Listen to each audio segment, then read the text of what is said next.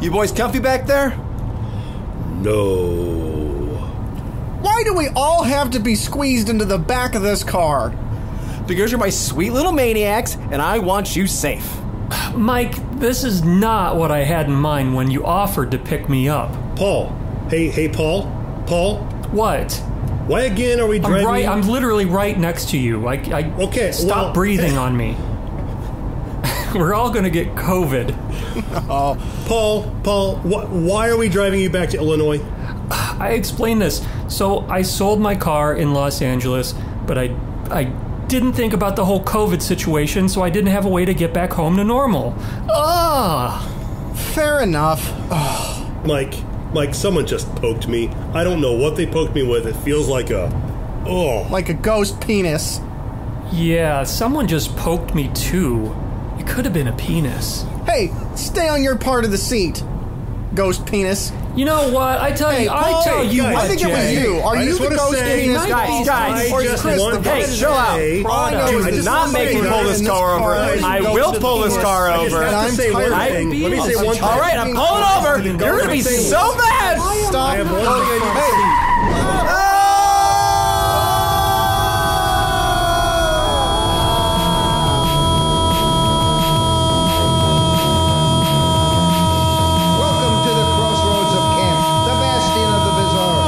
place where low budgets meet high praise. Yes, it's B Movie Mania. and now, B Movie Maniacs, here are your hosts, the cream of the crap, the connoisseurs of cult, your cinematic creepy uncles, Paul Brooks. Mike Hayes, Jason Huls, and crazy Chris Hutson.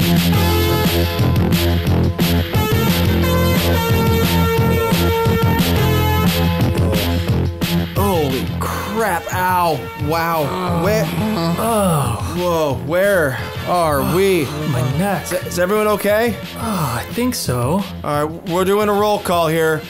Paul Brooks.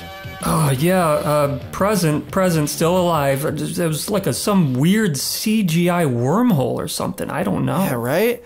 Uh, J- Jason Huls, you okay? You're gonna die. You're gonna die. You're gonna die. You're gonna die. Oh dear God! God damn it, that was going to be my thing. Oh, sorry. sorry, is- Paul. Wait, is this the intro, or are you just checking to see if we're alive? both.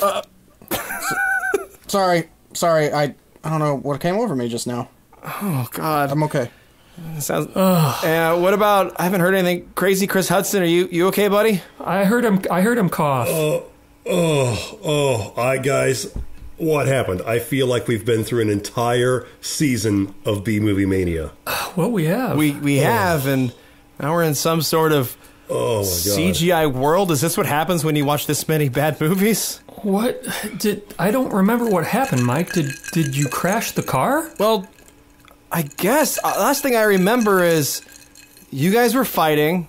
Ugh. And then I tried to pull over, and then these two little twins like ran out in the road, and I tried to miss them.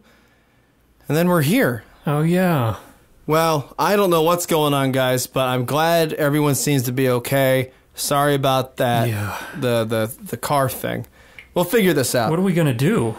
I guess we may as well record this episode that we were planning on doing. What movie did we watch again? Oh, we watched the 2003 film Despiser. Despiser. Despiser. Oh, I thought this background looked familiar. All right, I get it. Come now. to think of I it, this get looks a lot like the movie. Yeah. Does that mean Does that mean we're in purgatory? Oh my gosh, I think it does. Well, I like to call it the netherworld, Oh. But yeah, I'm not Catholic. It's kind of cold down here. It's a bit chilly, even with all the flames kind of floating around over there. A lot of flames, but a lot of blue, you know, like dark blue sky with with clouds. Well, anyway, for anyone else, listen, are you guys all recording? Yeah, it's a good thing we all brought our stuff into the car with us. Hey, Mike. Yeah. Chris doesn't stop recording. That's fair. You have been recording since the previous episode. So, Hey, Mike. yes, Paul? Uh, when we got into the car accident, I accidentally turned my recorder on, so I am recording. Oh, good. Good. well, okay. So I guess if we're recording this episode, we may as well eventually release it. So let me let me clue the the listeners in on to, to what the fuck we're talking about when we say despiser. Despiser. Despiser. a refresher course on, and maybe we can glean some sort of knowledge from this this plot premises of of the film Despiser to get our way out of purgatory. Despise. Having just been fired and dumped by his wife, life couldn't possibly be worse for independent artist Gordon Haig until he wrecks his car and finds himself in purgatory, that is. Once there, he's attacked by fantastic shadowmen and legions of ragmen. they just. They're just throwing. The Shadow Men are fantastic. And I like I like how the synopsis like expects us to know exactly what ragmen are. Yeah, that's why I'm laughing. Uh, um, uh, Gordon is rescued by an eccentric band of freedom fighters, people from different times of history who have lost their lives in noble sacrifice. Uh, and then they fight a, a, a, a being called the Despiser. Uh, in a Rating god time. abandoned happy. I mean, this thing just goes Rating on long. time. Ba-dum-bum-bum-bum-bum. I think we can just, you know, get into it. Yeah, I Shortest well, episode ever. before we get into it, why don't we each do a quick? I, and I've heard this is good for survival. We each do a, a, a something called a quick take. Quick takes. Crazy Chris Hutson, you you were in Army. What's your quick take? Uh, the CGI work. Uh, I mean, the Amazing Bulk really wishes its CGI was as good as Despiser. Fair. That's great. Uh, how about you, Paul Brooks? The movie is called Despiser. But I liked it.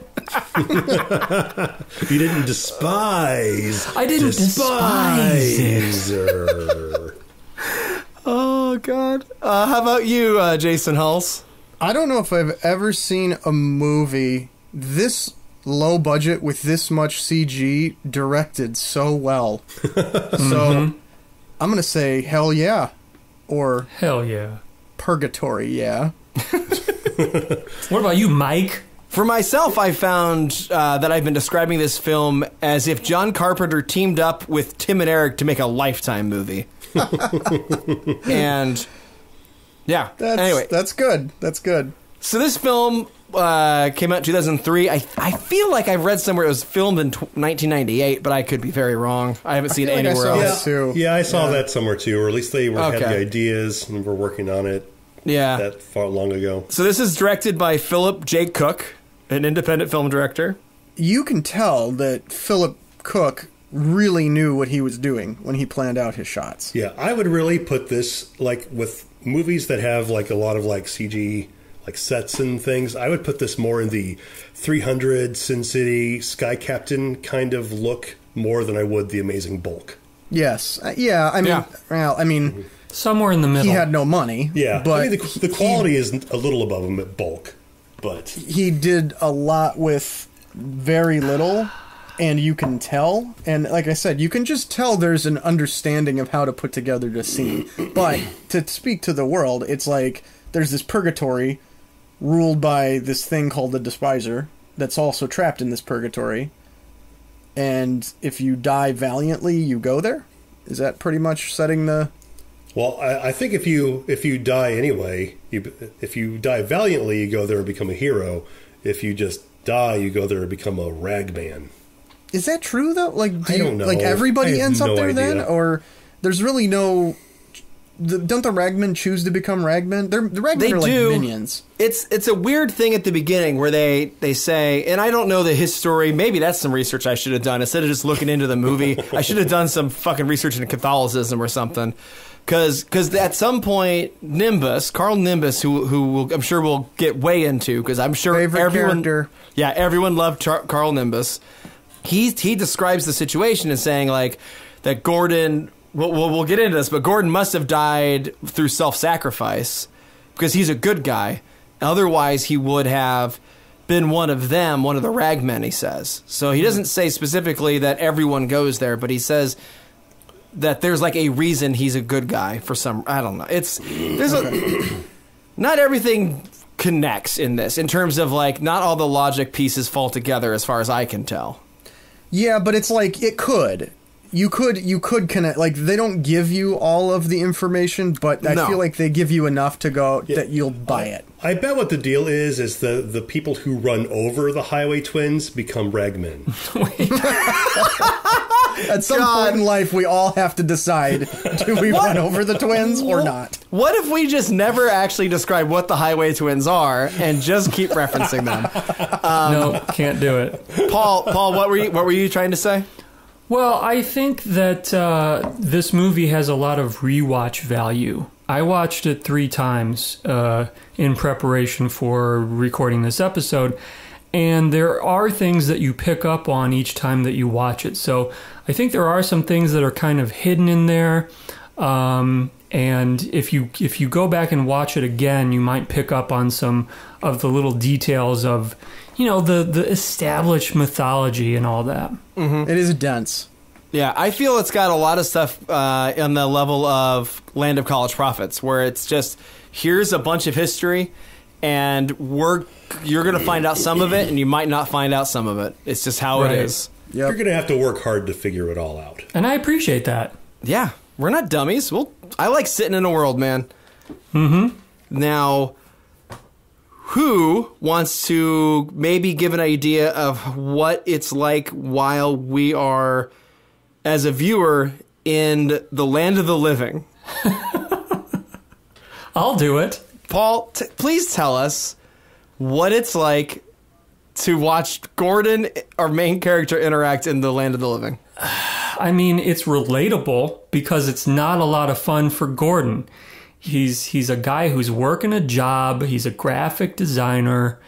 He's try he's on a tight deadline. He's trying to get these graphics done for this presentation, but his boss comes in, presses a button, something happens on on Gordon's computer, and this other guy deletes everything that Gordon has been working on for hours, maybe days. So it's a pretty frustrating situation for him. No, no, no, no, wait! What?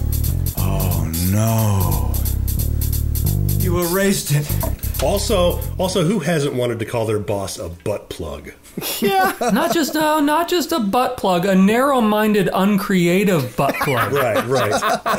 I want my image right now. Right now? Well, you're gonna get squat right now, you narrow minded, uncreative butt plug. What? What did you say? Now, Paul, did you have did you feel a, a, a oneness with Gordon in this scene, as you yourself have worked in uh, an almost identical office in Pontiac, Illinois, as a graphic designer? wow, you know me well.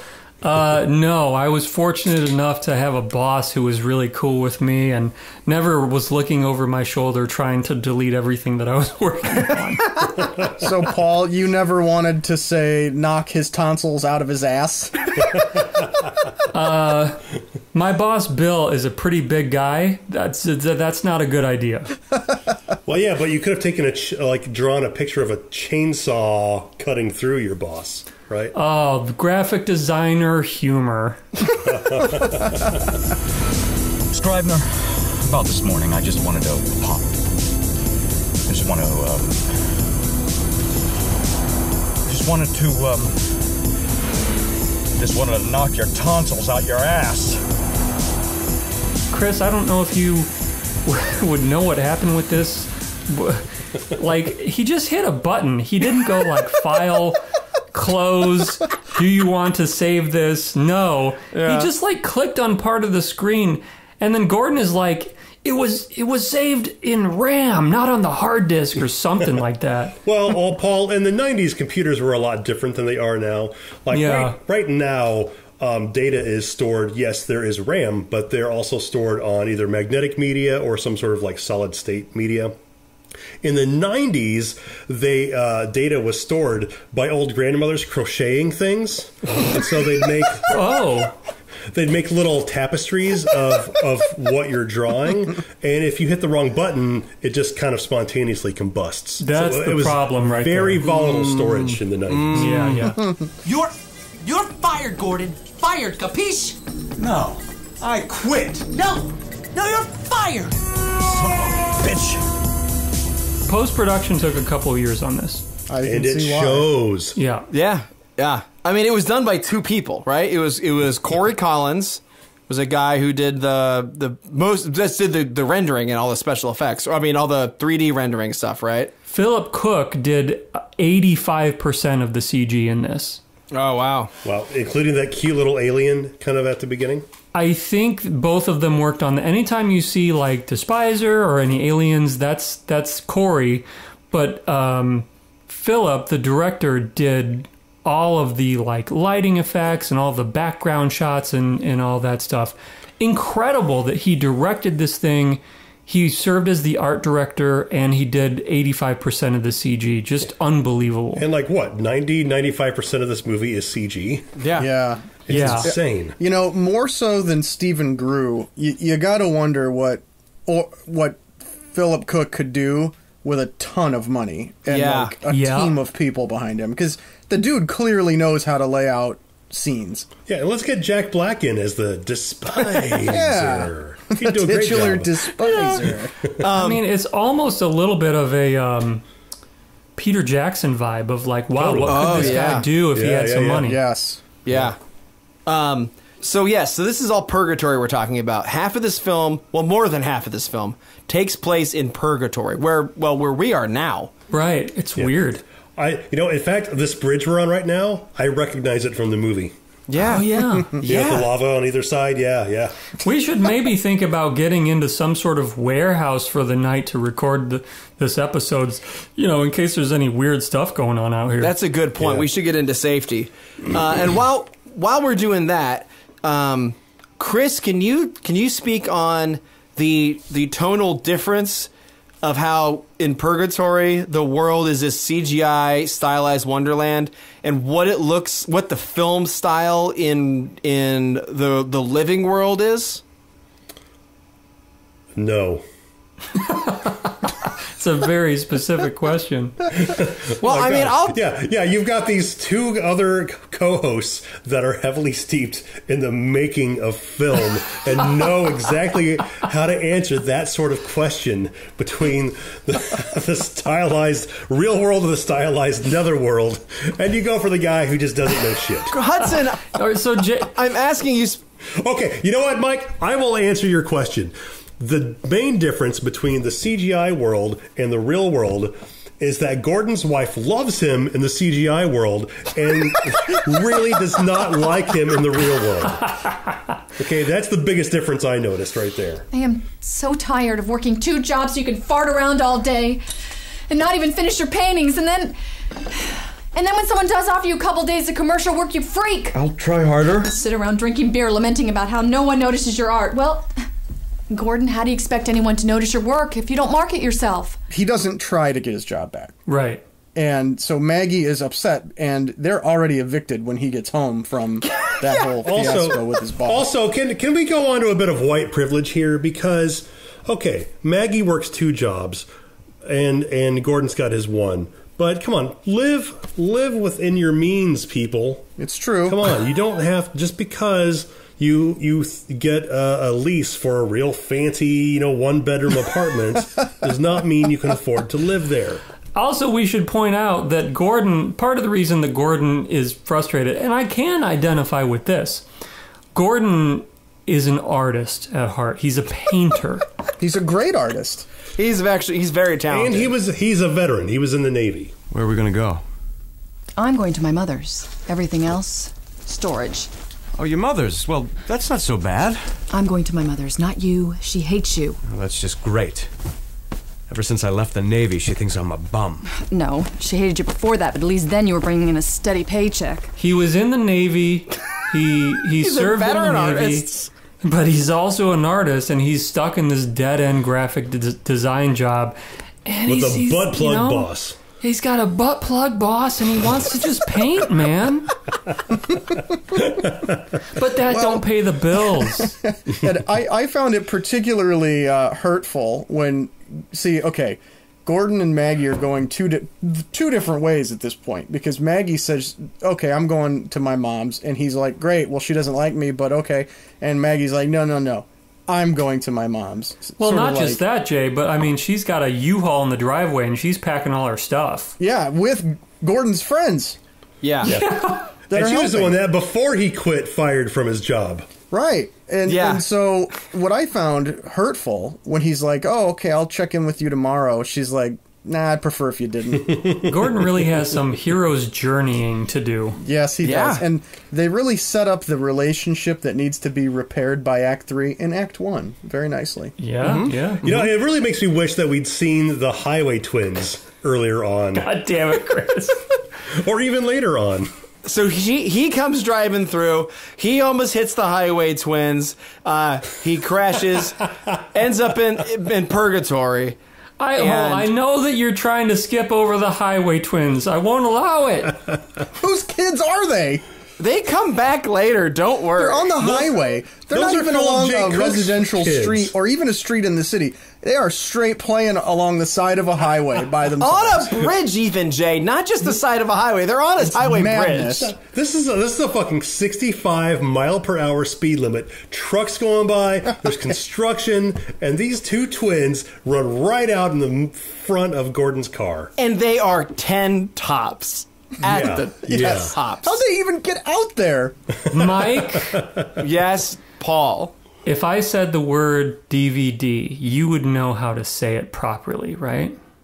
Do you want me to say it right now, or I do want you to say, so I'm going to say a word and then I want you to say that and then I'm going to say something after that. okay? Okay, here we go. Despiser. DVD. Facts. so there, there you go. You can edit that together. Oh, I see. Because I, I, you know, I listen to the audio commentary, so I have a little inside information here on this. Uh, those two kids on the road are, in fact, Phillip Cook's real kids, even though Chris already said that. Did he? Oh, I Well, missed that. well, you know, and I found out by Facebook stalking everyone involved with this film. Oh, Oh boy. Just to be a little, to maybe a little creepier than watching the DVD commentary. But hey, you get the same knowledge either way. You do what you got to do. Anyway, so he misses the Highway Twins, ash- aka the the Cook kids, and uh, ends up end, ends up where Jay? he ends up in purgatory for the first time, and it's it's you know like we've described it a lot by now. It's it's a CG world, and I found it interesting that he is thrust right into the middle of a bunch of ragmen, which, if we haven't said, are people with rags over their heads and missiles. There's missiles everywhere, and Not just missiles, Jay. Nuclear missiles. Right, like this is the the the chunk where you get uh, Gordon. He's confused by everything. He meets the the crew of good guys.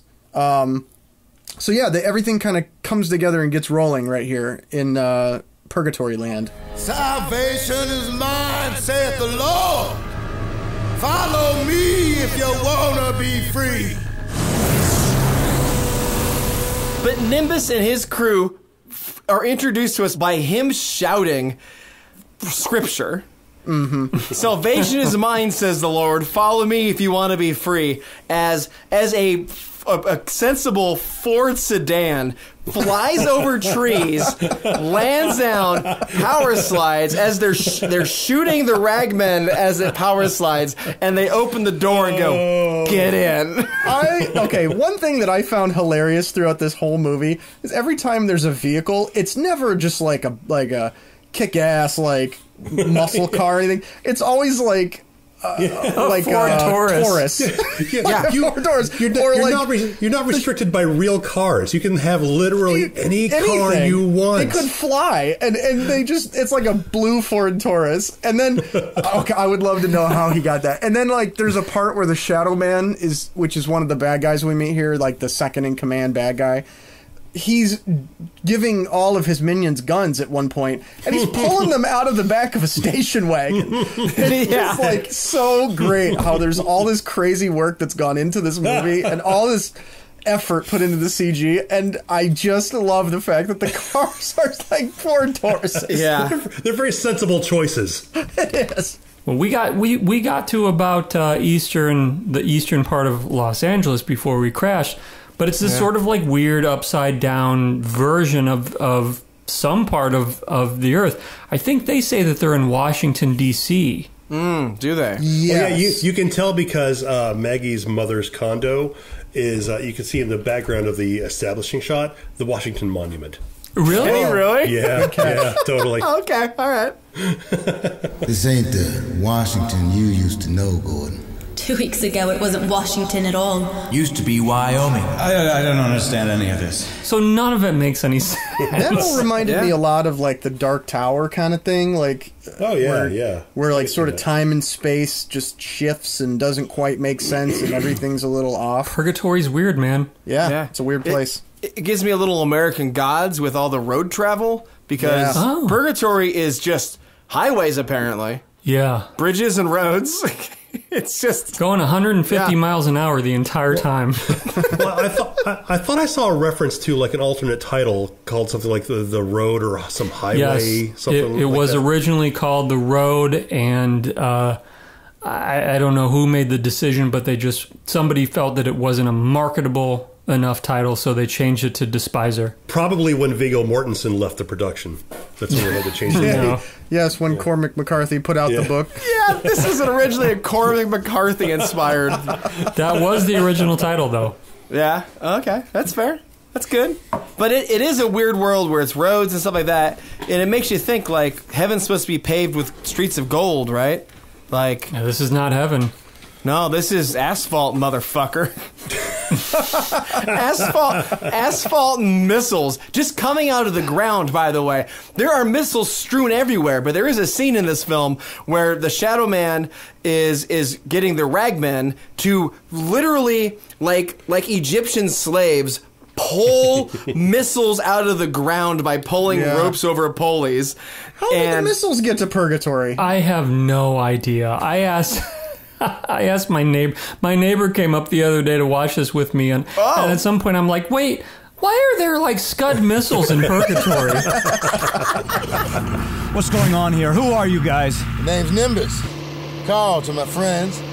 And seeing as how you had the good enough sense to ride with us, you can call me Carl. Gordon escapes all of the ragmen and the Shadow Man, jumps into the car with uh, Carl Nimbus and the crew.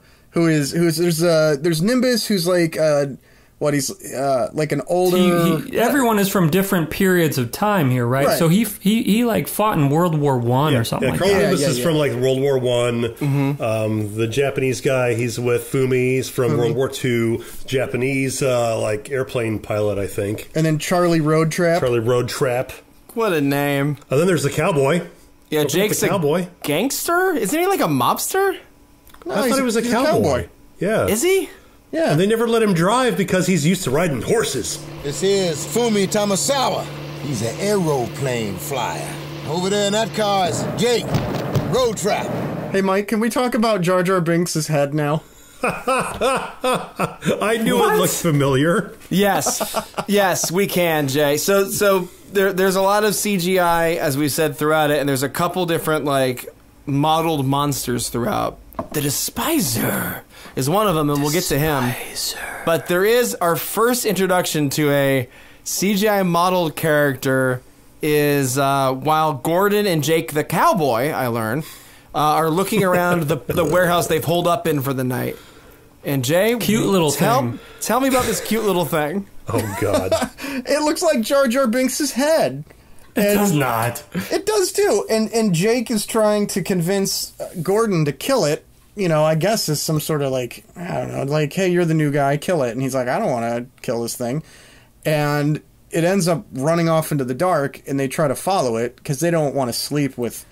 You know, well, yeah. some Carl says time around. to earn your keep. Yeah, Yeah. And, and, you know they don't want that thing running around there, so it lures them back into the dark, and a giant monster comes down out of the ceiling, which was Where pretty do, cool. where do you guys think those things came from? Were they on the spaceship with the Despiser? Have we talked about the Despiser spaceship yet? No, we haven't. Were they native to the Netherworld? Are They they? they have talked about it by now in the film though, and they talk about the Tunguska blast. yeah. Yeah, there's so this is something like Paul you said earlier. This this movie's got a lot of rewatch value because you, there's so much you can miss and catch, and I'm personally missed the the whole fact that the Despiser is an alien. yeah, the despiser uh, is an alien from another world who I guess like crashed on Earth. Uh, I mean, along with a lot of other despisers. 80 years ago, three beings crashed here. In Russia. Tunguska. In Starship. As with all calamities of the indecisive, they ended up here. Here being purgatory. We call it the Netherworld. These were soulless beings. For them, there was no heaven or hell. No place for them to go. And the the despiser that we see in the film eventually is the only one who survived the crash. But Mhm. since they all died on Earth, apparently God was like, "Well, I'm gonna have to put you in purgatory because I don't know what else well, to do with have you." they don't have souls. Yeah, they don't so they have can't- souls. yeah, so they can't get into heaven or hell. His plan is to simply blow a hole into in reality, right? Yeah. And but the thing that I found funny about this is that according to the heroes when they're talking, they in a way confirm that this plan will actually work. And Maggie does too later, like cuz Maggie shows up as like a some sort of purgatory spirit and she also warns the crew like yo he's gonna blow a hole in reality and make it through Yeah. so this insane plan that the despiser is trying to put into place seemingly if he had enough missiles would have actually worked Yesterday. Two more like it and we'll have enough.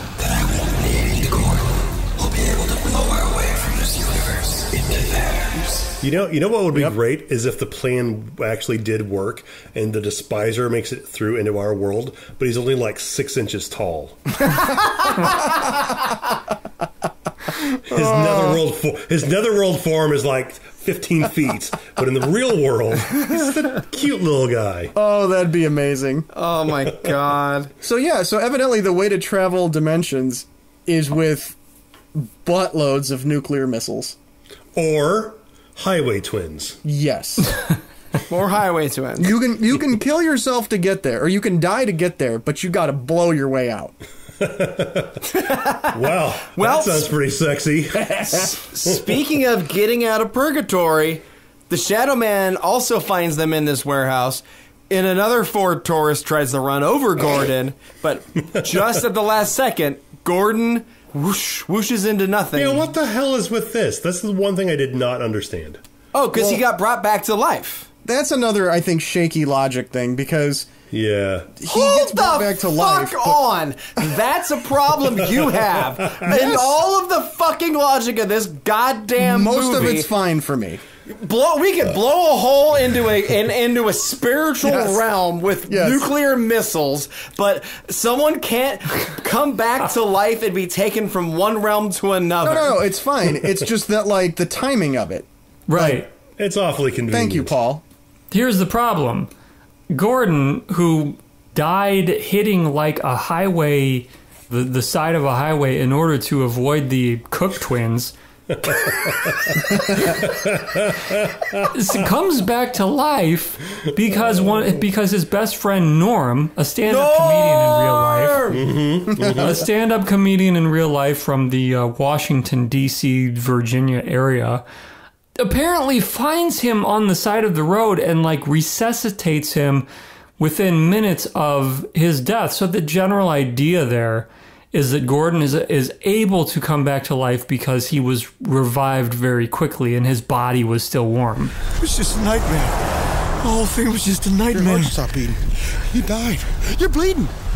Your brains could be leaking out of your ears. And and, uh, and at first he thinks that the entire purgatory thing was just a dream. Well, to be fair, I think he probably thinks it was mostly a dream because of the awesome 90s Gregorian chants. Oh, oh we haven't even talked about that yet Oh, it makes me want to listen to Vast. I think we should put a clip in right here.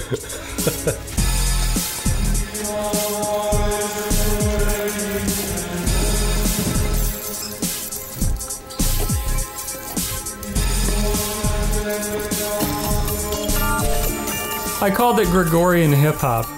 yeah But God. Mike, that brings me t- that brings me to my next uh despiser dvd facts. the main actors in this film, who we just kind of went over, were only on set together for three or four days. Most of their shots were done individually. Wow. Oh wow. Yeah, crazy. That adds an extra layer of shit on that season of Arrested Development, doesn't it? Yeah, I never would have guessed. Well, that's good to know, Paul. But mm-hmm. you know what's you know what's bad to know? What? When Gordon comes back, there's a shadow man right there on the fucking bridge. Shit. He's wearing a hazmat suit made of garbage bags. Yeah, dressed Yep. in the set from Neil, one of Neil Breen's movies. Oh, I wanted to say it. He's from Garbage Bag World. Ah, I beat you to it. Maybe there's some crossover. Maybe Purga- Maybe Garbage Bag World is one step above Purgatory. Oh, it might be. Fateful findings, baby. That's B Movie Mania Season 1, Episode 3. Go. Wow. So the shadow so the shadow man is like there are multiple there were multiple shadow men, but there's one left we find out. And the shadow men are like they used to be Despisers. Were Yeah, they is that what despisers? they were? Okay, that's what I thought. Yes. Okay. Because yeah, because he does say it's a shame you lost your form to the last shadow man. Right. Um, I didn't realize it was a despiser, but that makes a lot of sense. And the Shadow Man's just jumping bodies, right? Like Yeah. he gets wounded too much, and he goes back to the to the Despiser's fortress in a big sea of lava, and gets himself a new body. By by shooting himself so his body dies. And in this particular case, he blows up his old body with a grenade. So he goes out. Oh, that's this one? Okay, that's Yeah. right. Very Battlestar Galactica, quite frankly. I think Ron Moore has some explaining to do. I bet you that explaining is yeah, I like Despiser. It's really good. I'm sure. He's got the DVD. I know this nice young man lives two floors below. He's a programmer. He's a little dull. You have always hated him, haven't you? Gordon. He's insecurity incarnate, riddled with fear, an emotional car wreck. I know. Maggie is over at her mom's house and she's eager for her to get into some sort of a, a dating pool situation where at some point they just find they look over at a window or Maggie does and there's a man on the ledge of this apartment building just hanging out. Well, an apartment building with a full house on top of it. Well, that's true. and the, and and might I add the Washington Monument in the background. This is where we nice callback. this is where we bump against amazing bulk territory slightly, just slightly.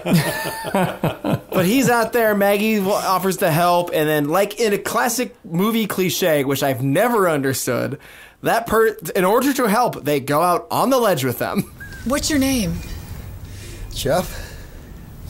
Hi, Jeff. I'm I'm Maggie. D- do you mind if I come out and enjoy the view? Ah, you know, they want to identify with him, get onto their level. Yeah, it's a bad level to Well, be on, yeah, Paul. that level is going to be ground level in Yes, about thirty is. seconds. Yeah. So so she goes up there. Uh, uh, it turns out he's a he's the Shadow Man. Yeah, how does this work? Uh, it's I don't Shadow- know. It just shadow it does work. It does work. That's what the um, but the but the Shadow Man does take Maggie down uh, to ground floor. Chris Hutson. That was a surprise. Do they take the elevator? Well, In a nat- sense, nature's elevator. that's that's what they call Newton's elevator.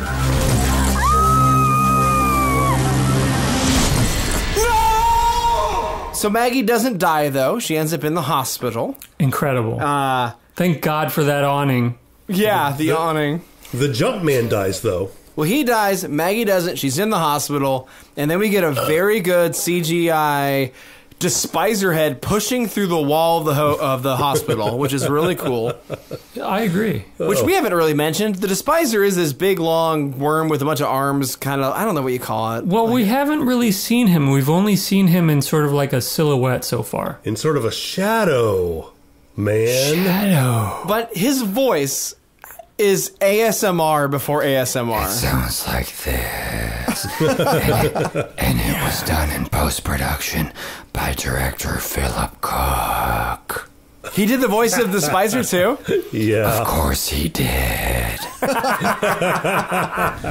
I was a traveler among the stars, but I crashed, got stranded in this dimension, condemned to keep company with pathetic human wretches a large being, and the fact that he talks like this and it's so quiet, Hey, you know, and it's a the despiser whisper. doesn't need to yell. That's how powerful he is. It's just very stereotypical villain of like, I'm going to tell you all of my plan now that I have you in my grasp. I want to hear the despiser say something nice. Jason, I think you're a really swell guy. There you go. Thank you. Thank you, Spicer. oh my god. listeners, B movie maniac, fe- fellow B movie maniacs, it is tradition for the last episode of the season to drink quite a bit. So if this episode is a little bit messy, we do apologize, but these things happen. You should have said that an hour and a half ago, Paul. Here's the thing. You know what? Okay, all right. Things are getting a little wild here, guys, or a little confusing. Why don't we take a step back? Why don't Yeah. we just regroup ourselves and let's just take an ad break here with uh, with with this Night Beast Industries Night Beast Industries. uh, product that we are happy to sponsor and support 100%, no matter what ethical or moral issues it may bring. I'm going to get another drink. Let's face it, times is changing. Temperatures are rising, ocean levels are rising, the amount that my son thinks I'm a big old jerk is rising. But there's at least one good thing happening. In more and more places, weeds is legal. It used to be that if you were walking down the street with a pocket full of weeds and you ran into someone like your mom or some narc preacher, you'd get nervous. You wouldn't want them to find out that you had just stopped by your friend's place and snagged a pile from their savage garden. What you got sticking out of your pocket there? The preacher might ask. I don't think Jesus or your mom would approve of that. Just like some freaking narc. I hear you can go to states like California or Illinois, and no one will give you guff for picking up weeds wherever you are. I mean, it's just weeds. Weeds ain't hurting no one. And that's why I made this ad with the help of Night Beast Farms. Thank you. I got weeds, lots of weeds. My yard's full of them, and I ain't embarrassed no more, even if that means my son won't invite his friends around. So please, go to bit.ly slash nightbeast, and I'll send you all the weeds you want for free. Just pay shipping. That's bit.ly slash nightbeast, and I'll go out to my yard, grab a handful, rip them out of the ground, shove them in an envelope, flick that envelope, close the seal, put a stamp on it, walk it out to the mailbox, drop it in, and send it directly to you. I don't care who knows. Not my mom, not my son, not even that dumb narc preacher. Because weeds is legal, okay? Weeds is legal. Please, please come get my weeds. Paid for by the Council for Actual Weeds. Should we just do general laughter now? that was a good one. There you go. And Mike, that does bring me to my next despiser. DVD. Facts. Cool.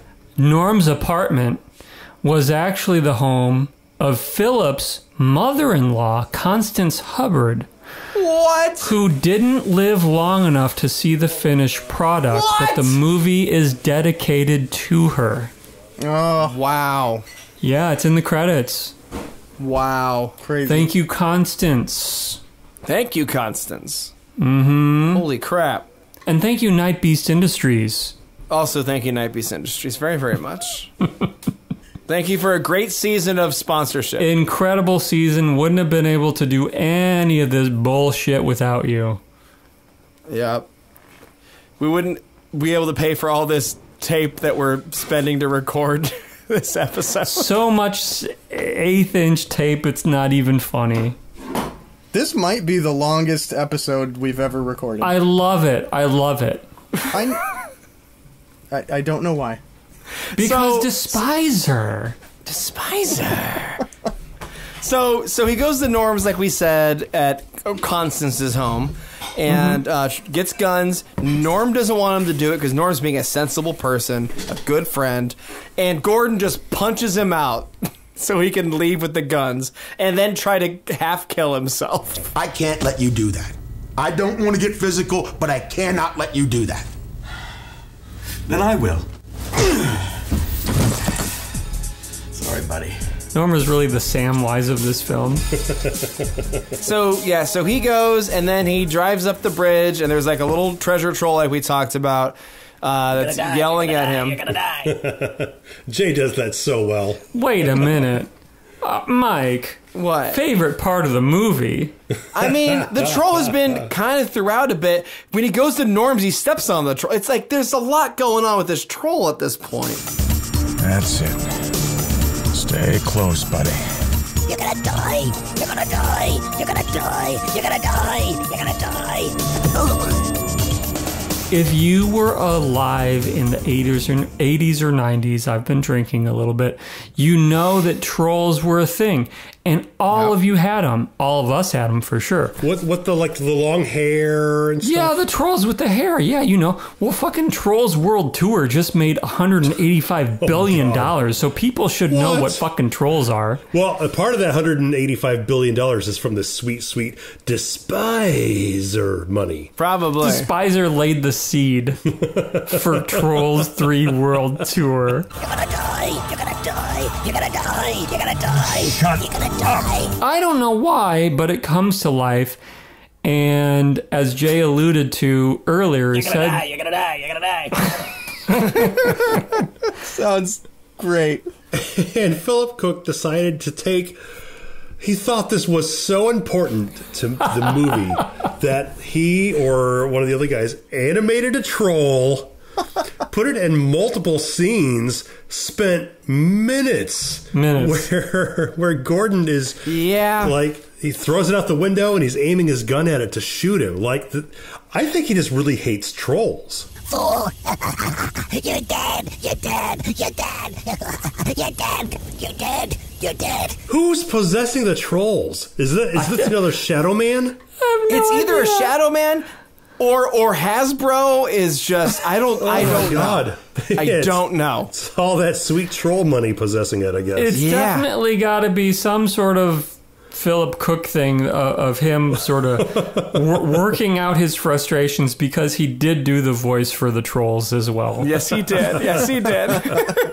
and, and Jay, uh, what did it sound like again? You're gonna die. You're gonna die. You're gonna die. You know, that works really well with the muffled uh, audio you're setting It's gonna sound great, in the final episode, though. So so when he Yeah. gets he gets there and, and Poor Mike. and and and the Shadow Man is like doing a comic relief. The Shadow Man's kind of like the the the one of the villains in Manborg. I feel like he's kind of got that a like- little bit of a comedic tone to him. Yeah, yeah. He's the comic relief kind of thing. Didn't care for it. Wow! Wow! Oh, first, first, first shot fired about the film.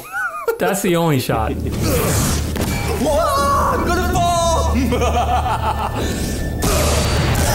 This action scene is one of my favorites of the movie. I think it's. I think this action scene is directed really well. Mm-hmm. I thought it, it was well put together.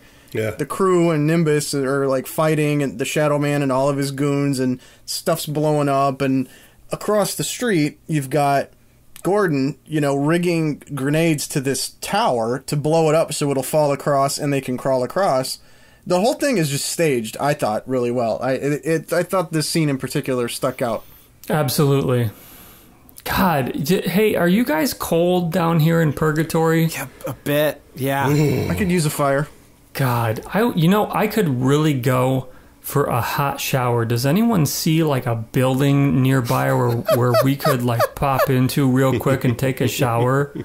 Does anyone see? I'm uh, Mike. If you don't mind, I'm gonna go look around a little bit. Yeah, go. Yeah, go see if you can find a. Sh- uh, uh, Find a hot shower in purgatory. I would like that, Paul. Yeah, because I I have gotten close to some of these flames we're seeing around, and I'm not getting warmed by them, which is discerning. Yeah. Well, it's a it's a it's a background painting, so that makes sense. I'll go look around and see if I can find something. Okay, thank you, thank you. Yeah. So, so, all right. Well, oh my god. All right, so while Paul's gone, guys, let's talk about the fact that this tower that Gordon blows up does fall across, and and his squad does get to escape on it in this tense scene, right? Like Jay, you're talking about, it's very well directed. For sure. Yeah, Uh, yeah. The scene where they're they're like individually having to go across and and climb across this this this treacherous it's like just like a triangular kind of pipe kind of tower, and Well, uh, the- and the ragmen are kind of shooting at them, and one, yeah, from one down shoots below. himself in the, the face. Shadow Man's out there. It's yeah, it's it's pretty intense. They got to make it across. well, the Shadow Man gets up there, and the Shadow Man's gonna stop him, and the last hey, person guys. to go across. Oh God! Hey guys, Yeah, Paul. I, I did I did find a shower in a in a warehouse building, so I'm gonna just pop in real quick, okay? Okay. All right. Yeah, Have I'll be fun back in like I'll be back in like five minutes. All right. Perfect. All right, cool. All right. Do we know if that water's safe to shower in? Oh, no clue. It's probably fucking acid, but yeah. I bet. Well, if it's glowing, it could take out Shadow Men. Well, we'll see. That's true. but while they're there, while the Shadow Man's coming across, our our, our good friend, uh, what's a street trap? What's the name? Charlie Road Trap. Road Trap. Our friend Road Trap. She gets shot. Yes. The Shadow Man Ugh. pretty much the, the thing is like all the, the I don't know if we've really said the bad guys and the good guys both want the same thing. They both want everybody wants out of purgatory, right? Yeah. And so the Shadow Man is like, look, I won't kill Charlie Roadtrap if you give us Gordon and we can all get out of here. Nimbus, give us Gordon, and this one can live. We all want the same thing. The same thing! To escape this world. Give us Gordon, we can all get out of this hellhole! You belong here, you bastard! Well, they think that Gordon knows the way out because Right. he's escaped once already. Everybody knows Gordon has gone back and forth, and Charlie Road Trap's like, eh, and pretty much sacrifices herself, takes out another body of the Shadow Man, and now we're left with Fumi, Jake the cowboy, Nimbus, and Gordon But as you said, Jay, she sacrifices herself again in purgatory. in purgatory. So there's like self sacrifiception or something going on. Nimbus talks about like finding your place in the universe and everybody's there. Is some philosophy involved. So, I mean, it's reasonable to assume that that she probably went on to a good place. Well, we see her. We see her at the Yeah, end. we see her at the end surprisingly for some reason, so she's fine.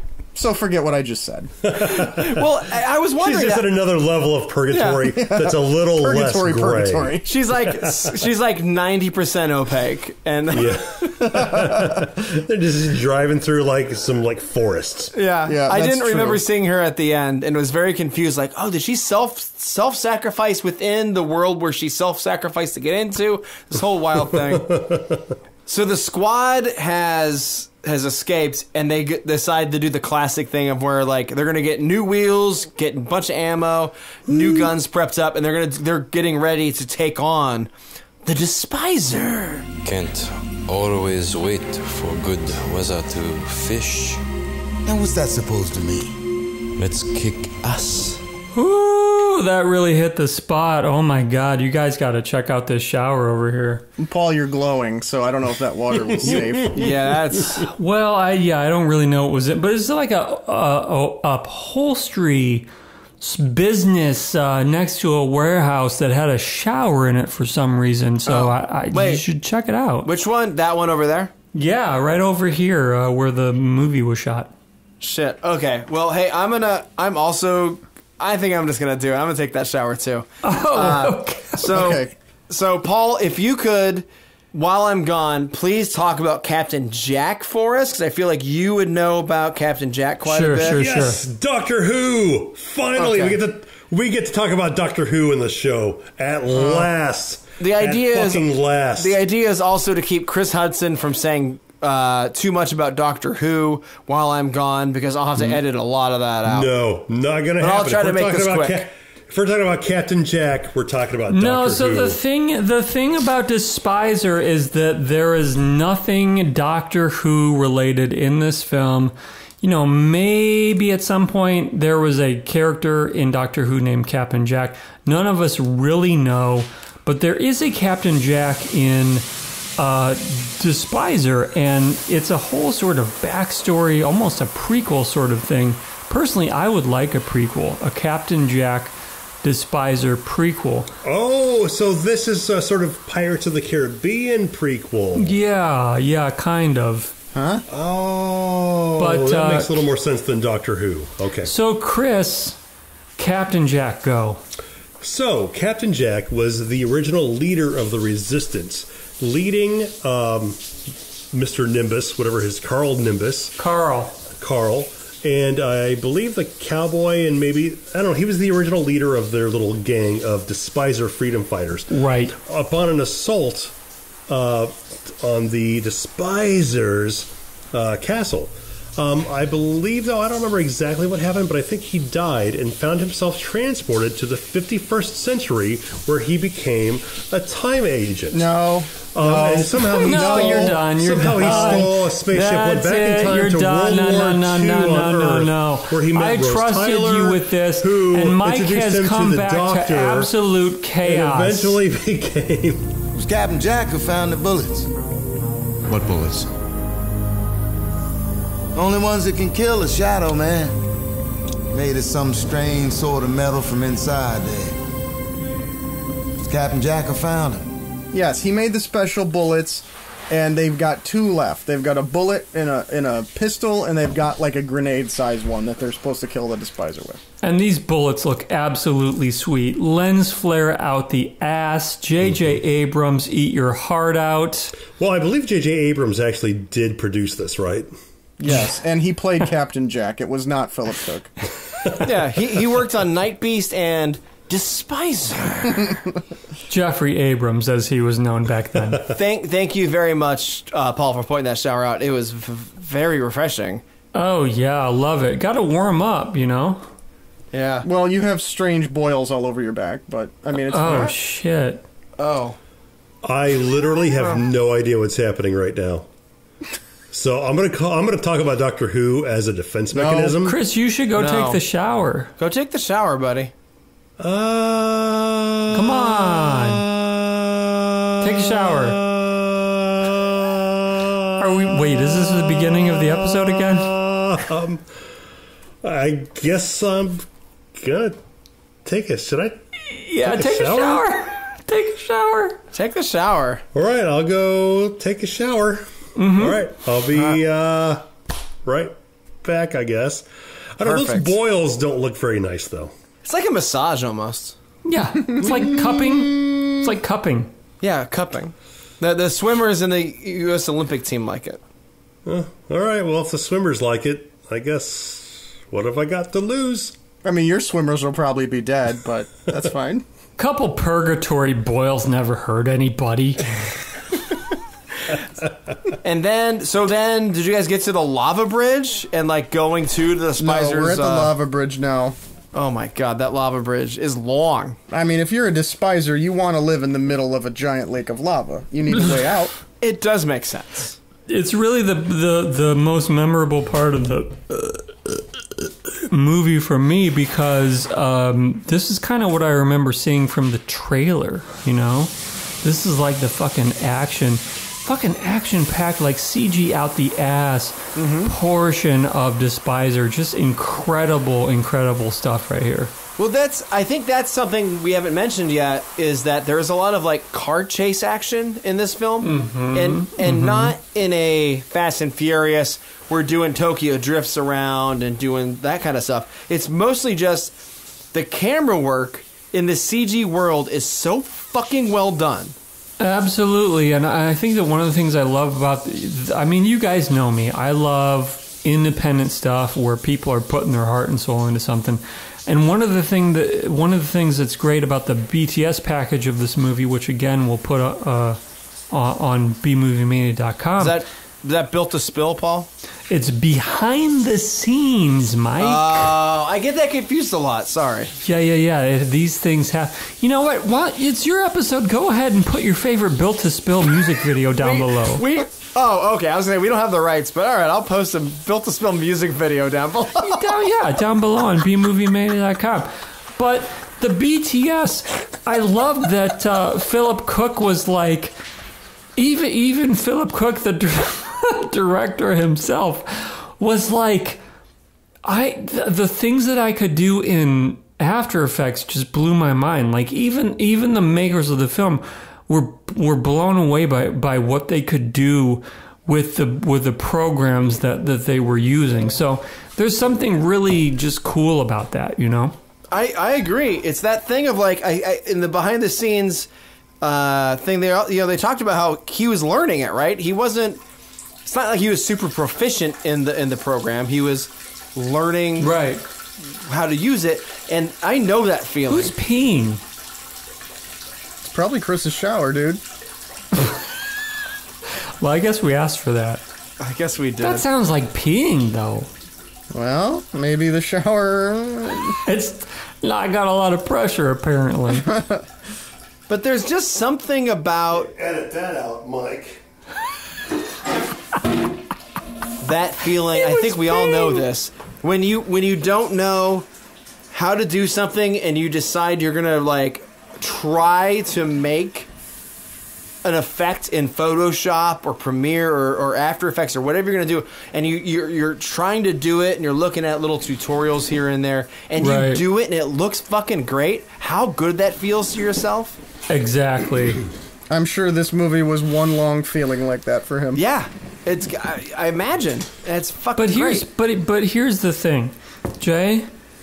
You know, like get take a shower, man. Get into this. Why don't you Why don't you hop in the shower? Oh. I'm, I'm good for now. I mean, I, maybe we could a little bit, maybe. Do you want to take your shirt off? I mean, I'm, I'm not cold or anything. I mean, Do you feel well? It was cold, but now after you, after you take the shower, the interesting thing about purgatory is that for whatever reason, after you take the shower, you're warmed up, man. It's like you're going through oh. menopause. I think these- Do you want to take the shirt off?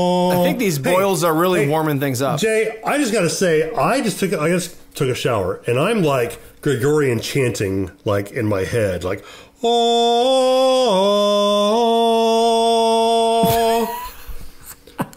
oh. Needs more hip hop. Yeah.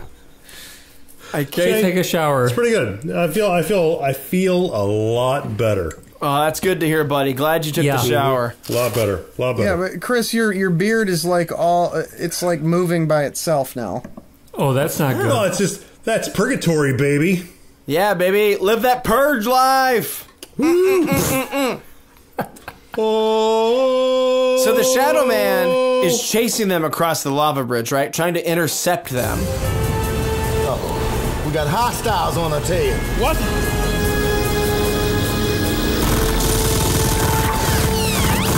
Hell, hell, these boys can shoot. And speaking of the cinematography in After Effects that gives it such weight and thing, the the Wait and thing. Waiting thing. that is a technical. I don't know if you guys know about how movies are made, but that's a technical term. Um, You know, I, I learned I learned that from Hitchcock back in the day. Yeah, you know, it's one of those things. Joseph Cotten always used to say that, Um and and so the Shadow Man has like a giant like uh, anti-aircraft or whatever. It is some art- artillery gun on the Uh, front of his car. it is- oh, please, it- Army. Yeah, uh, Army. It's a it's a it's an automatic grenade launcher. Oh, okay, so he shoots it, and then the here's the beauty of it: the the the, the you follow this the grenade, this this projectile, you know, Yes. grenade with the camera behind it, but it doesn't just follow it like amazing bulk style, where it's just like I'm just behind it, fixed camera kind of thing.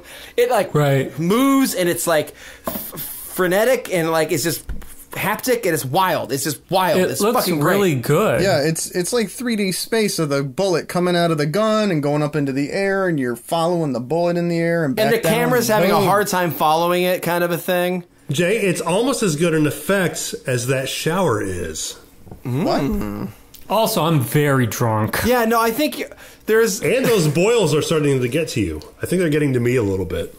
Golden Road is starting to get- get to me. And cheer, Golden Road, great brewery Golden here in uh, Glendale, California. Take me Uh, home. You know, I to just, I mean, you you guys were in the process of I trying to drive me home, Golden and it's very bittersweet leaving what? Los I am gonna Angeles. take So just a quick shout out to Golden I'm, Road. I'm gonna do it. Take Jay is home. going to quit the podcast. So Jay's taking a shower there. Perfect. So while Jay goes takes that shower, Let's talk about the fact that missile I talked about that you see the, Oh, the, the, damn the cinematography with crashes out in front of the cars and breaks the bridge, which they have to like stop just beforehand. Sorry, not a missile, the grenade. I, Let's not get you know. into RPG stuff on this Hey, episode. I'll let I'll let the bazooka stuff slide. Well, there's no bazookas in this movie. That's right. There's not. but Number- Mike, it's one of my favorite scenes. Oh, it's great, Paul. Why don't you why don't you describe it, please? They're trying to stop our heroes here from from accomplishing their mission, and um, Carl. Carl. And essentially, for the time being, they do by blowing up this bridge in the middle of all this lava.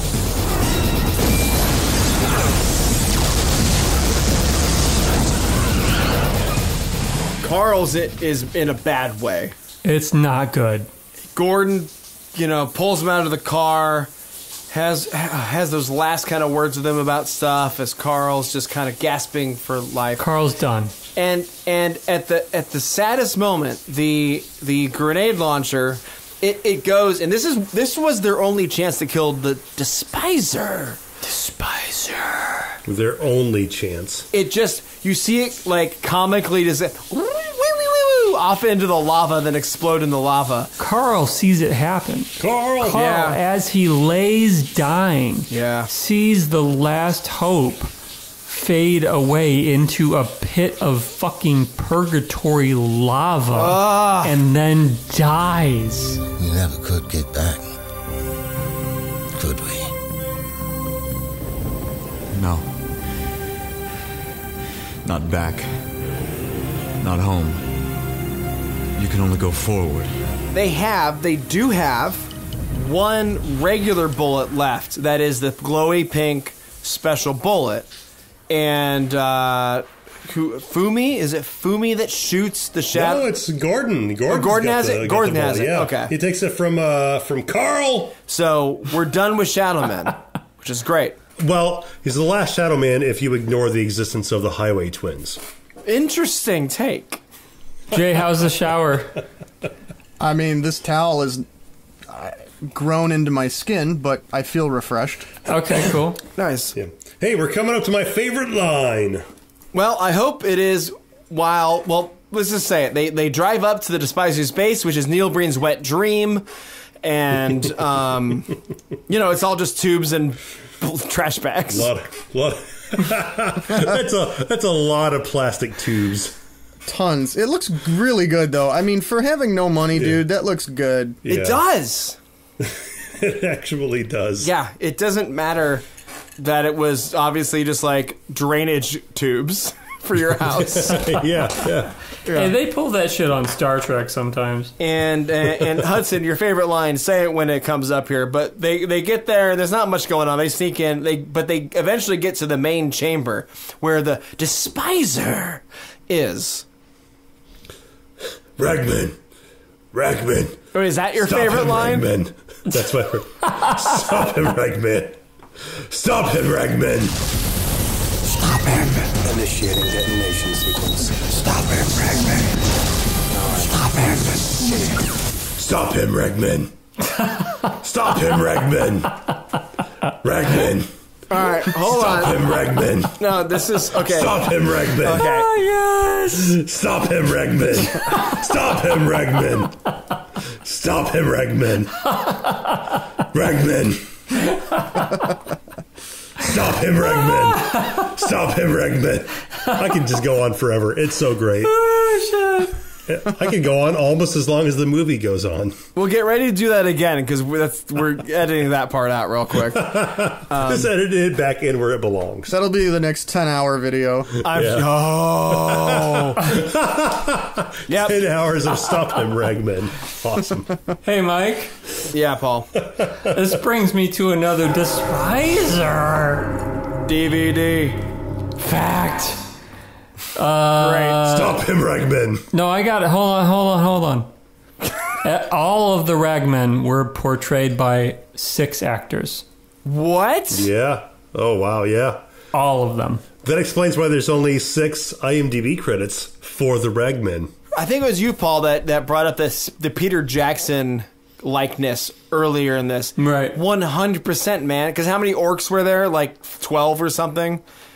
No, there weren't. There were a lot of orcs. I don't know what it is. But the point is, Well, hey, James Cameron said I can make aliens with six alien suits, and Right. Phil Cook was like, "If you can do it, I can do it." I'll do you one better. To give our listeners a sense of the scale on this, six rag- ragmen actors, like a hundred ragmen on screen at any one time. oh, yeah. It's a lot. Hey, Mike. Yeah, Paul. You know, we've been doing this for a while. Is anybody getting hungry? No. Um, uh, yeah. Yeah. I mean, All right. do you see somewhere where there's food? Is there a pizza I'm shop just- around or anything? I'm just gonna crack open this can of beans. Oh, is that? Did you get that from the ammo box out of Gordon's trunk? Yeah. I don't think Paul knows how to use a can opener. I don't. He's doing a very bad job. We should take a screenshot of that. One of my favorite throwaway jokes in this whole thing is they go to get more ammo at some point and they have to go to like the trunk of the car Gordon's driving. Oh, yeah. And they dump a box and there's like one or two things of ammo, but in it is like cans of Hormel chili. Didn't notice They that. eat, they eat a lot of beans and chili Oh, See, in my, this movie. my, one of my one of my favorite gags is when uh, earlier on when they're sitting around a campfire Yeah. and Fumi's like, "Hmm, smell evil," and the cowboy is like, "That ain't evil. Them's beans." Somebody farted. There is some humor in this. I legit opened a can of garbanzo beans. Garbanzo? That's even that's not a bean you could just eat with a That's not spoon. no. I know, but it but I'm moving. Well, I moved and this can of beans expired in June. So what do I do? You eat them, Paul, because it's a canned. Eat they're them. canned beans and they're fine. You just took a radioactive shower, Paul. Beans aren't going to hurt you now. Power through it, Paul. Mm-hmm. Smell evil. That ain't evil. That's beans. Shut up, Jake. So Gordon and Gordon and Fumi end up in the main chamber, right? Of Despisers Palace. Yes. It's so guys, it's so good. Despiser taunts Gordon, and then Despiser out of the water just pulls up this big egg, cracks it, and Maggie's inside. I I loved that effect, by the way. she's also clearly dry when she's in the water. Are we just going to gloss over when Yes. the despiser Yes, we are. Yes, we are. We're tears the glossing right over cowboy in twain? Yep, we glossed right over it. Ah, okay. Bullshit. Yep. Big ol' egg. It's a big glowing egg, and he throws it, and she doesn't die when it cracks open. Nope. No, it just it But just she- floats in the water. In Yes. the CGI water, might I add. Yeah. Yeah. Not real water. Well, Jake establishes earlier on when he puts his hand in the water that the properties of purgatory water are not the same of, uh, you know, earth water. I did appreciate that. Phillip Cook thought of everything. He did. He did. Wait, what are the properties of netherworld water? You just took a shower in it. If you put a woman in a metal cage surrounded by glass and then you break the glass, the metal can float so that you can so that you can tease your your nemesis with his earth wife. This is this is pretty big, obviously, because they're face to face, and Despiser says he wants out of this purgatory to like rain hell on Earth.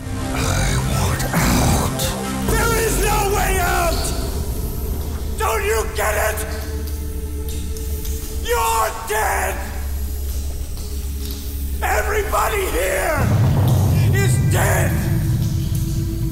There's no going back! This is purgatory! And Despiser doesn't believe any of that. Yeah. He thinks he can get So out. so Gordon throws this grenade out a small hole out of the out of the uh, Neil Breen wet dream, Ragman, and it, yes. it Stop it, him, Ragman. It, it careens Stop down him, the Ragman. side, bounce, bounce, bounce, Ragman. lands next to a Stop giant, him, Ragman. What did you do? Stop him, Ragman. next to another a. missile. Stop him, Ragman. Yeah, and it's dude, it's a sweet shot because it, he doesn't just chuck it out this hole. Like Stop it's him, another one of those Chuck it out shots. his hole. it's one of these shots where the grenade you follow the grenade out of the hole. It's a great shot. yeah, It's, sweet. good. It's a great pretty shot. and then it blows up like one missile, which like sideways slides towards it. Like it's a pretty fucking good explosion scene too. Y- years worth of warhead collections. Can you imagine how big that explosion would be? I like that we're really trying to justify this. Well, no, it's cool though. Like, I mean, that It is pretty explosion would be like unlike anything the world has ever seen. And so there's a big thing, and then suddenly Gordon comes to life in reality again. Because someone saved him. Okay. Also, the next the next fucking day. Yeah, hold hold the goddamn phone. Paul's got something to say here. The second time that Gordon comes back, rem- rem- remember, if you will, listen, dear listener, that he, through the direction of the fucking troll, followed the flare onto the bridge Oh. to to to drive his car, very psychomania style, Mike, off of the bridge. Oh, absolutely. and kill himself, which worked. It got him back to purgatory. But here's the thing, Chris. Um, oh, I know what you're going to say.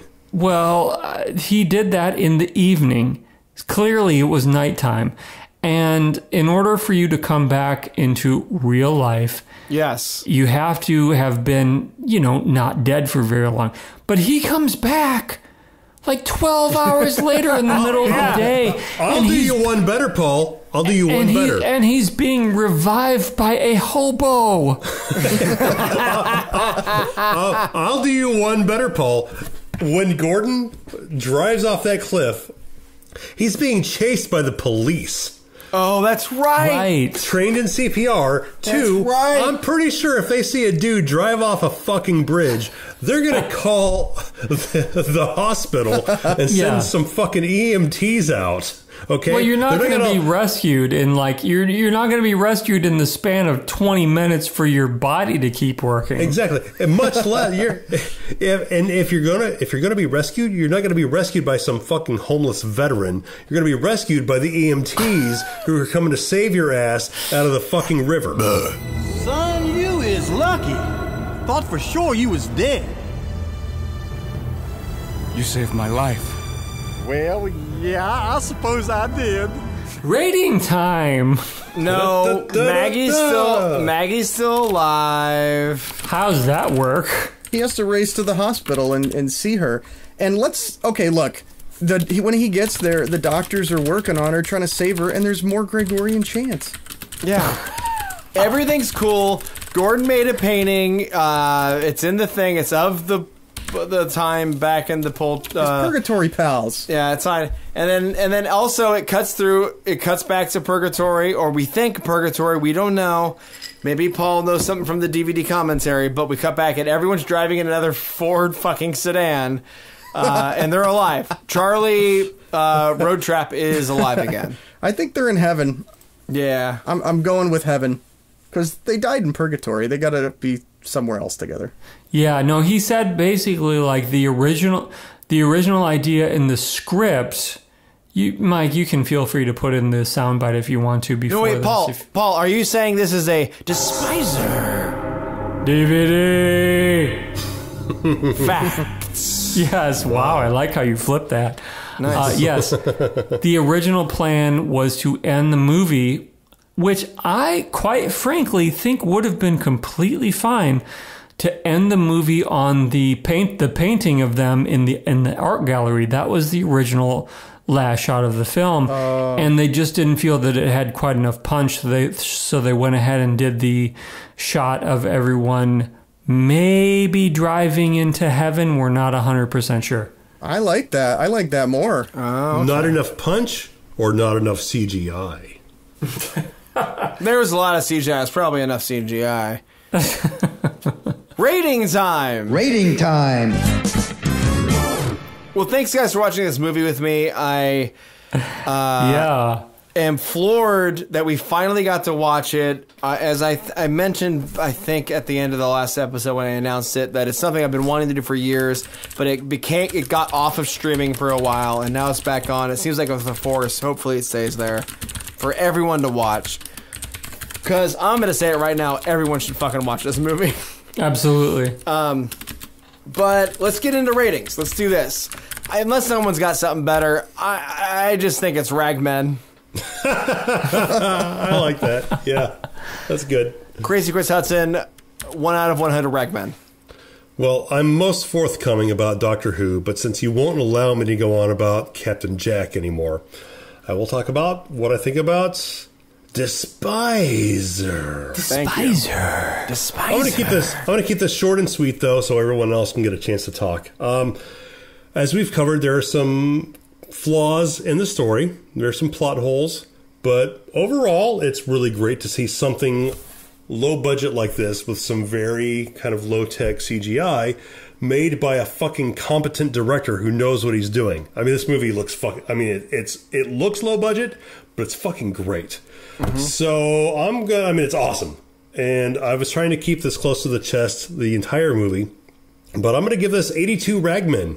Nice. I enjoyed this one. This is a this was Mhm. a good one. Mhm. I really liked this one. I think everyone should watch it.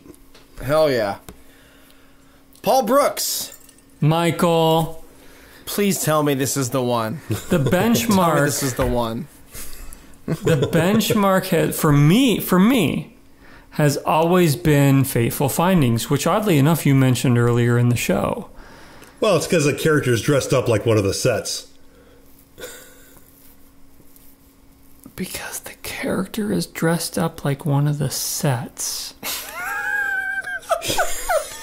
yeah, you got the garbage bag sets. Oh, the garbage bag world. Yeah. think there's the garbage bag man. The point is, fr- from literally episode three of the of the show, uh, Fateful Findings, which from me got 92, 92 points, whatever the rating system was back then. Um, I have decided that I rated that movie too low. You know what I mean? Uh, it was too early Yeah, on fair. in the show. Yeah. But the point the point of the, this whole situation is I'm ready to move past that. So for Oh. Despiser, I hope you don't mind that I break from ranks here a little bit. I'm going to go 95 narrow-minded, uncreative butt plugs. Absolutely incredible movie. Just from a just I mean just from a filmmaking perspective, you know, just from the sheer Yeah. amount of effort that went into this thing, absolutely astonishing. I can't really argue with that. No, you can't.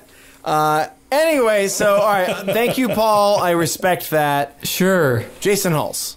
You know, I would love to see more in the Despiser verse. I hope someday maybe we get that. Fuck yeah. I, I said several times, you know, this thing is it's so well directed. Like you just can see it if you know to look for it. That this is not just yes, the CG has a low budget look, but you can tell that there is incredible intention behind every shot and how it's laid out um, and that just jumped out at me huge. Like I said, I've never seen a movie where it had such a low budget with uh, doing so much. Like I, I find myself oftentimes in this podcast saying, "Well, you know, it didn't go far enough. You know, the movie didn't go far enough. It didn't swing for the fence."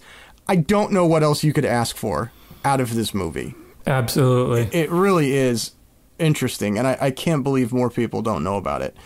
So uh, yeah, man, I I do think everybody that likes B movies and and even just like studying people who I guess like us who study these things really should see this. So, um, gosh, I'm gonna go. I'll give it 92 ragmen. Nice. All right. What about you, Mike? Well, am I the low one? What? Yeah, you're the low one, dude. I'm the low one.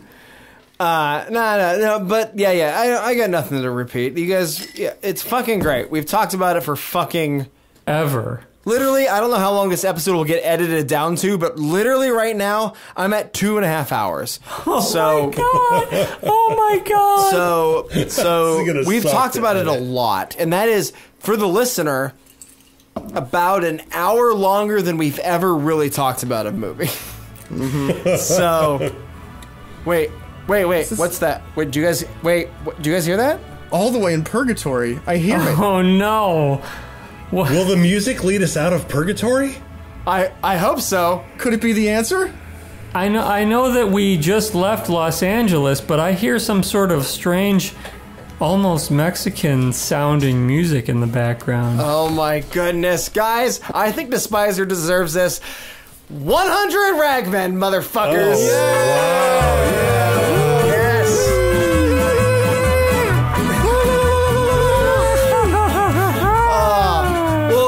guys? Thank you for making me feel like I, it was okay to do this for this one. I know sometimes there's some kickback. Absolutely. The scabs on your back help.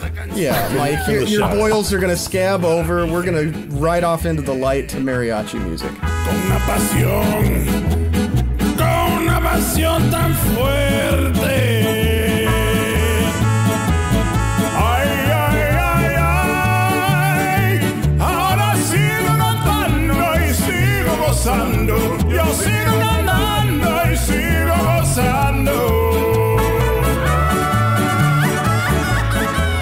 Listen up, maniacs. Do you have a question or a comment? Would you like to uh, send some bourbon to Uncle Lloydie? You can contact the gang on Facebook at B Movie Mania.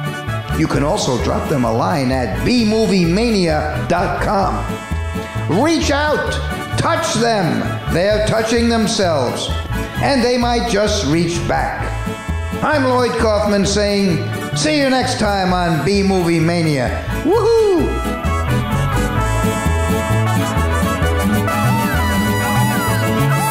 Thank you, one and all, for listening to B Movie Mania for season four. We really appreciate it. Um, if you haven't been interacting with us, uh, please do. We have a Facebook page, B Movie Mania. We have a store if you want to support us, store.bmoviemania.com. You can get that. And it's we got a lot of cool stuff on there. A lot of green slime shit. It's whatever it is, it is. It's fine.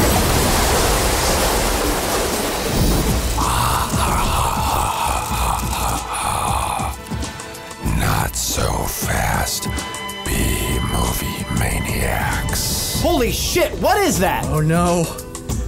It's the despiser.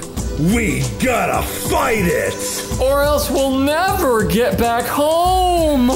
Come get it, boys. Stop them, Ragmen. B movie attack! Stop them. Stop them. Take that! Take that! Stop them. Stop them.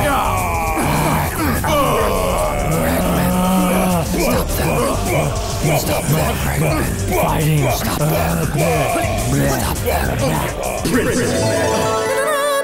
What's all this noise? We'll have no trouble here. Be gone, despiser!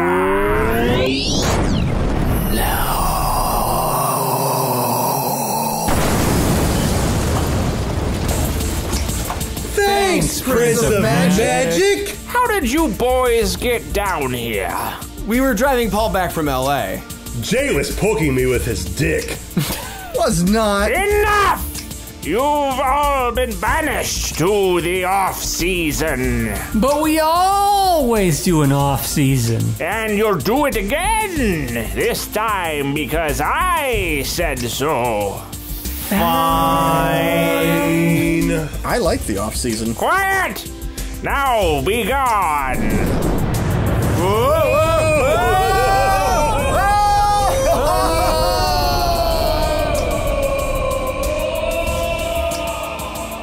Will this be the last we hear of the B movie maniacs?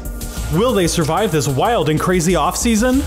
Can anyone even hear me? You too, Chuck Daffodil! I see you over there, you fuck! Aw, man. Ah, portal!